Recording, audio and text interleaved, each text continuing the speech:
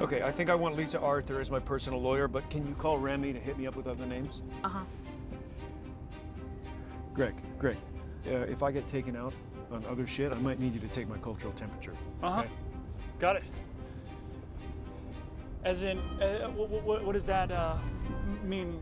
Like before I get my media monitoring in place, I might need you to slide the socio-political thermometer up the nation's ass and take a reading.